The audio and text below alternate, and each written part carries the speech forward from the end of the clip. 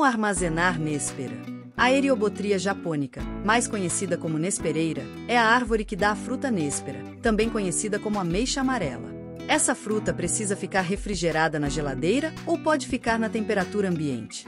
Será que pode ser congelada se estiver muito madura? A seguir explicamos algumas maneiras de você guardar a néspera para evitar que estrague rápido demais. Dicas para armazenar néspera. Dê preferência pelas nésperas brilhantes, amarelas quase laranja, macias e firmes. Não é recomendado comer a semente, somente a polpa. Se você comprou e elas estiverem muito amarela, você pode deixar um pouco na temperatura ambiente para que elas amadureçam. A fruta pode ficar na temperatura ambiente por até 7 dias, uma semana, sem apodrecer, desde que fique em local fresco, longe da luz do sol. Depois desse tempo já começa a apodrecer. Se onde você mora for muito quente, pode ser que ela dure menos tempo do que o esperado. Quem preferir pode guardar a néspera dentro de pote com tampa na geladeira. Fazendo isso, a fruta irá durar uns 20 dias sem estragar. Pode congelar néspera? Você pode congelar a néspera. Ela deve ser congelada quando estiver bem madura, amarela para laranja.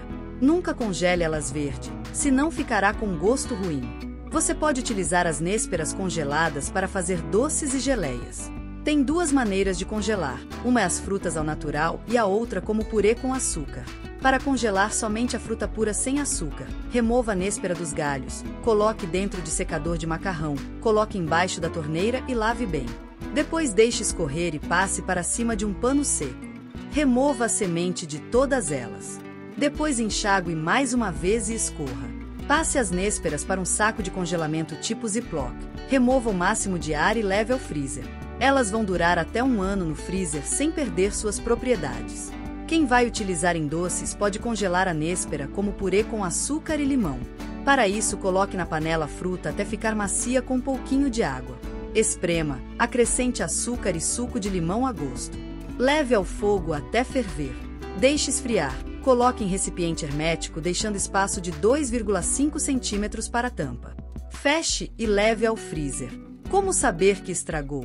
Sempre verifique o aspecto e cheiro da fruta. A néspera, quando vai estragando, ela fica marrom, molenga e pode ficar com cheiro azedo.